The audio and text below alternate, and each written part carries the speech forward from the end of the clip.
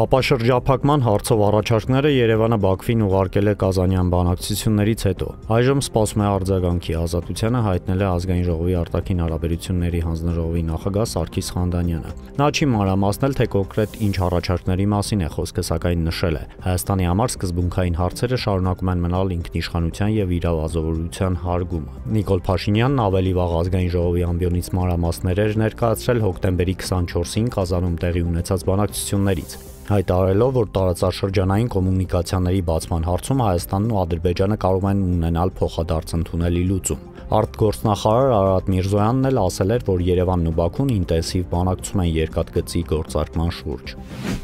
Ադրբեջանի համանadrության վերաբերյալ Հայաստանի վարչապետ Նիկոլ Փաշինյանի հայտարարություններն այլ նպատակի չեն ծառայում, քան միջազգային հանրությանը մոլորեսնելը, հայտարարել է Ադրբեջանի արտգործնախարար Ջեյհուն Բայրամովը։ Անդրադառնալով հաղորդակցությունների բացման համար պայմանավորվածությունների վերաբերյալ հայկական կողմի հայտարարություններին, նա ասել է, թե Ադրբեջանի եւ Հայաստանի միջև տրանսպորտային հաղորդակցությունների բացումը նոր թեմա չէ։ 3.5 տարվա քննարկումներից հետո ձեռք բերված պայմանավորվածություն արտահայտությունը համարում ենք ուշացած։ Եթե այս հարցում դեռ պաշտոնական փաստաթուղթ չկա, եթե Հայաստանն այս ուղղությամբ աշխատանքներ չի սկսել, ապա դեռ բաց հարցեր կան, հայտարարել է Բայրամովը։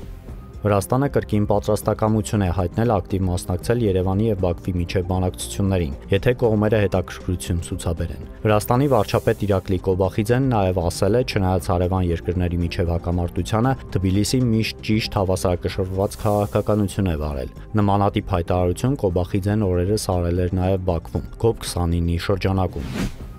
Հայաստանի արտաքին հետախուզական ծառայությունը նոր լիազորություն կստանա։ Ծառայությանը կվերապահվի պետական գաղտնիք կազմող տեղեկություններին առնչվելու թույլտվություն տալու լիազորություն։ Պետական գաղտնիք պարունակող տեղեկություններին առնչվելու թույլտվություն ունեցող անձանց նկատմամբ կասկածներ առաջանալու դեպքում ստուգողական օպերատիվ հետախուզական միջոցառումներ իրականացնելու եւ մի շարք այլ լիազորություններ։ Պետական գաղտնիքի մասին օրենքում համապատասխան փոփոխությունների որոշումն ընդունվել է կառավարության այսօրվա նիստում։ Ներկայում նման լիազորություն հազորությամբ օժտված է միայն ազգային անվտանգության ծառայությունը։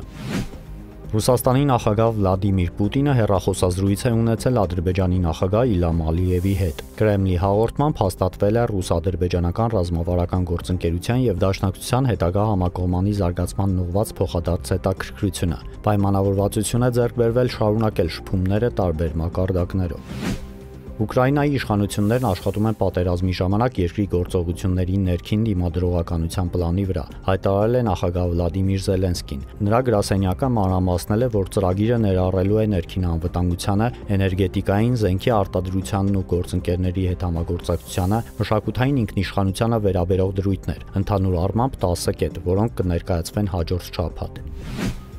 Ղազախական ընկերությունները Եվրոպայի, Ասիայի եւ Ամերիկայի երկրներից սարքավորումներ են գնել, որոնք հետագայում մատակարարվել են Ռուսաստանին եւ կարող էին օգտագործվել ռադիոէլեկտրոնիկայի պայքարի միջոցների ստեղծման համար։ Ինսայդերի փոխանցմամբ Ղազախստանում գրանցված 4 ընկերություններ 2023-24 թվականներին ձեռք են բերել գերմանական, ֆրանսիական, ամերիկյան եւ այլ ընկերությունների արտադրանք, որը հետագայում ուղարկվել է Ռուսաստան։ Հետաքննող լրագրողները ողջել են, որ արտասահմանյան ապրանքներն օթային ճանապարհով տեղափոխվել են Ալմաթիի Ժետիսու մաքսակետ եւ այսուհետև որոշ ապրանքներ ուղարկվել են Ռուսաստան։ Անցյալ տարի Ղազախստանի փոխվարչապետ Սերիկ Ժումարգարինն ընդունել էր, որ Ղազախստանից Ռուսաստան երկակի նշանակության ապրանքներ են մատակարարվել։